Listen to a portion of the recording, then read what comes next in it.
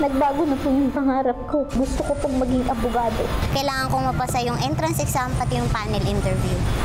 Lilet Matias, attorney at law. Weekdays, 3.20 p.m. na.